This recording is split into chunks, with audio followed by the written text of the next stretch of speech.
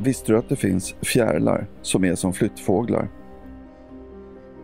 De flyttar mot värmen när vintern närmar sig.